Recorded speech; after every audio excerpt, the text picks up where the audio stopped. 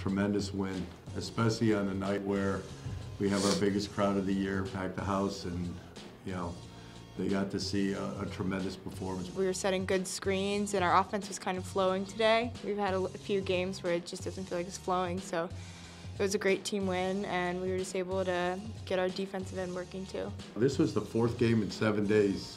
If someone told me we'd win two, I didn't think it would be the last two. They just never cease to amaze me. We need to work on things, but we just don't have the time to. And now they get a couple days where they get some much needed rest and go up against, you know, League and Quinnipiac.